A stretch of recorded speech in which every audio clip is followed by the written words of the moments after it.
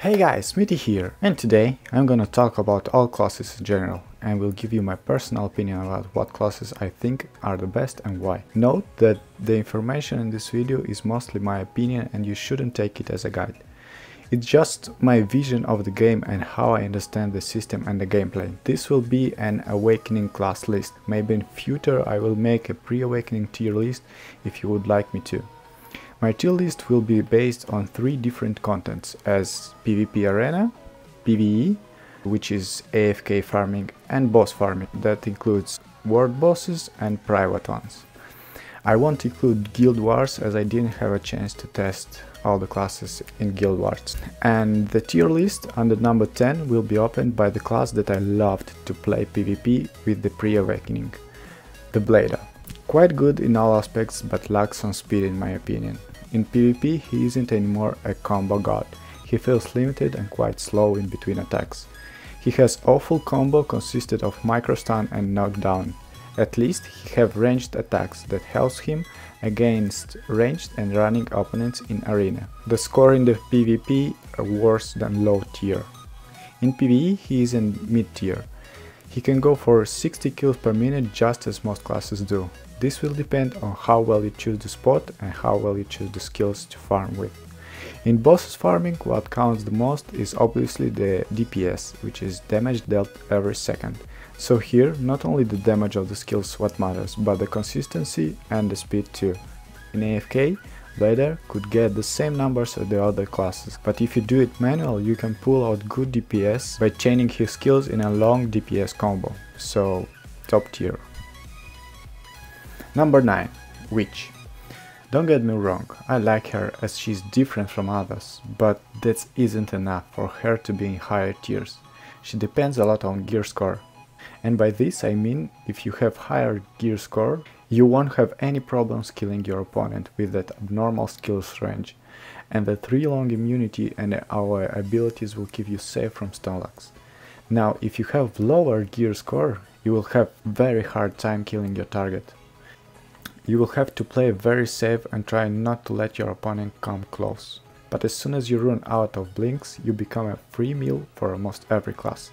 In last patches she even lost her frontal block on one of her skills, that left her with even lower chances to win higher gear score PvPs. So my verdict is low tier. In PvE, if you choose well your spot and abilities, you can just stand in one spot, spamming those ranged abilities to just kill all mobs around. But yet, that's not enough for top tier, mid tier. In terms of DPS, I would say she's the worst, but that's my personal opinion, I might be wrong. Low tier. Number 8. Tamer. She's quite strong. Her ultimate has so much stuff in it, it's like a juicy cocktail that have the best stuff mixed in it. Frontal block, good stun, immunity, knockdown and also an amazing damage. Pair it with the ability to use it twice and low cooldown, it might be one of the most overpowered skill in the game. A good tamer can make a challenge for any class, but still, I don't like her. She's easy to kite, no ranged abilities make her an easy pride for skilled players. So the only thing left to tamer is to play defensive and attack as soon as there is an opportunity to counterattack. I give her low tier in PvP. In PvE, she's like Blader, nothing special, all depends on the spot and skills, mid tier. As a DPS, she's quite good.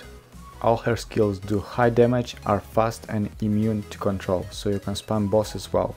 And don't forget that ulti have frontal block, use it to block boss hard hitting abilities, top tier. Number 7, Valkyria. Valk was the last class I recorded and I honestly didn't like her very much but she's quite balanced. Still, she has an amazing combo, good effects, high damage output and the best heal of all classes that heals up to 800 HP at first level. Her survivability is strong and she has 3 skills that allows you to catch your opponents.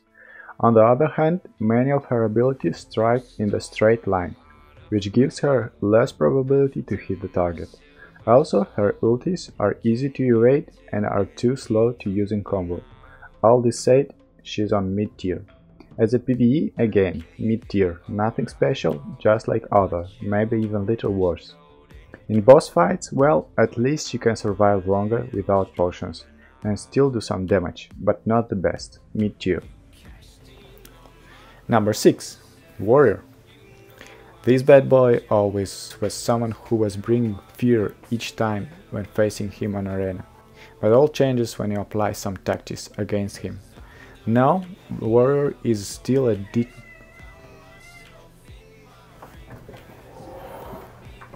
Now Warrior is still a decent PvPer with some ridiculous damage output and a good combo. His ranged attack is something that you want to abuse in arena as it does nice damage and gives you an opportunity to catch running and ranged opponents. In PvE he's kinda slow because of long animations, but again not by a lot, also mid tier. As for bosses, his skills do a good amount of damage, so even though animations are slower, you will still have a decent DPS, mid tier. Number 5. Dark Knight. Some classes become stronger after awakening, some not as much, and maybe even worse. Pre-awakening Dark Knight was such an overpowered class on Arena. The very long range stun that had two charges and that could penetrate shield paired with highest damage combo, named Dark Knight as Gear Score Destroyer. You could easily deal with 300 plus gear score difference. Now, for Awakening, she became slightly weaker in Arena and not as effective as before. Still, she is very dynamic now, since both melee and ranged attacks are good to use in PvP. All that makes her quite fun to play, mid tier. As a PvE, Fast and ranged attacks give her an ability to clear fast spots, so definitely a good PvE class, top tier.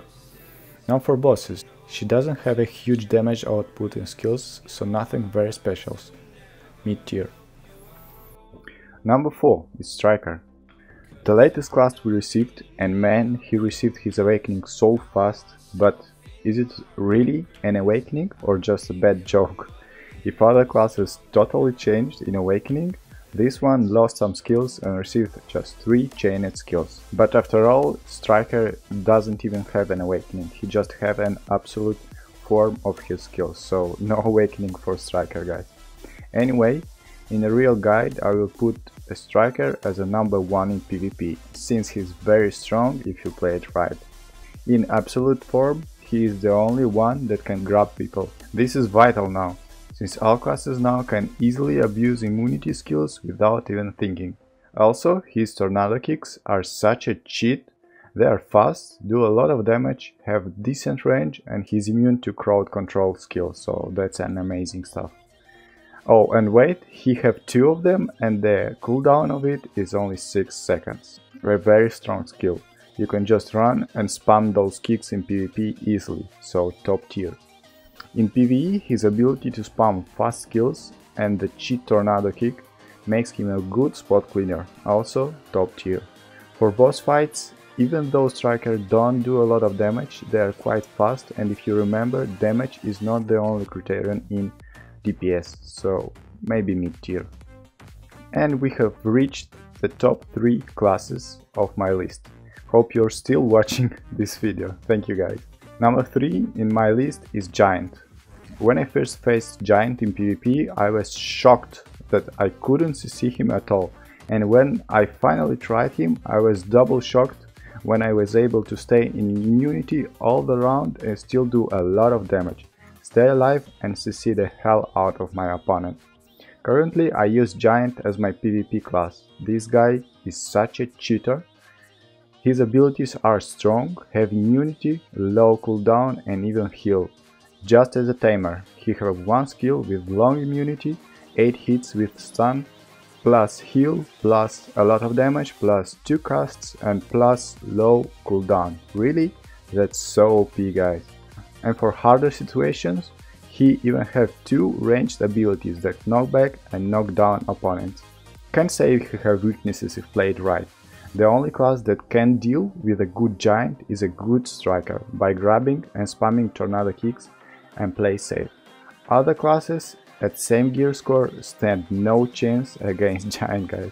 And also, he's not that affected by ping as other classes like Sorc or Ranger. So, in PvP guys, this bad boy is a god. the only one that have the god tier in PvP.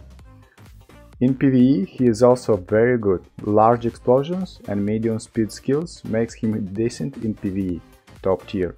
Against bosses he is good but not the best, there are better options, mid tier. Number 2.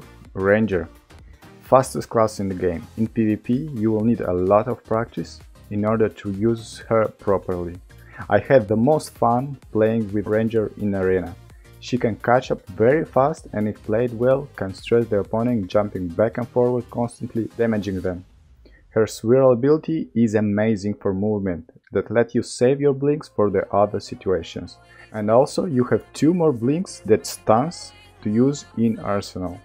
Two ranged abilities, one with good damage and knockback, another with long frontal block and knockback. And also a wide stun that sometimes also goes through the shields and even block. But you need a lot of practice to do it right, so top tier, everything said.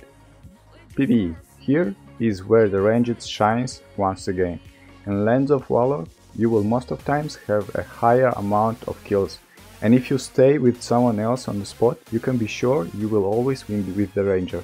Didn't test the numbers, but I guess she can go easily over 85 kills per minute, so it's a definitely a god tier.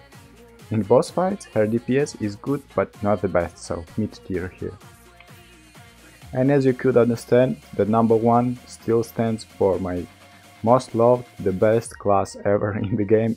My number one will stand always for Sorceress. Yes, she's just the best in my opinion. Though not the best in PvP, I didn't like her in PvP, but still she's number one for other stuff. And if she's not as good and easy as Giant in PvP, She's still very fun and rewarding to play. Animations are nice, damage is good, ranged abilities and of course spin to win skill that everyone hates. In higher gear score matches, she's limited to use ranged attacks or try to stun with her immunity charge and do the combo. On Korea, I have more than 250 ping, I couldn't play her as I would like to, because hide and stun which are her only indicators abilities, doesn't work properly. But I believe that with better ping, she's a beast in PvP. So after all, her range attacks, hide ability, immunity spin that helps you well against frontal blocks can keep her on number one spot in this list, top tier. As a PvE, she is a godness. Keeping up with that 85 kills per minute score, she clears spots in a blink of an eye with her spin so it's a definitely a god tier, just like Ranger. Same for boss fights. For the record, her spin ability at full cast does 20 hits, 150% each attack in PvE. That is 3k damage in 2 seconds, and she has 2 charges of it. So only with 4 abilities on your panel, you can out damage any class in boss fights, so it's definitely a god tier. So that's my personal Awakening classes tier list, hope you enjoyed guys. Thanks for watching, don't forget to hit that like button, leave a comment and subscribe for more guys. Cheers and have a nice day.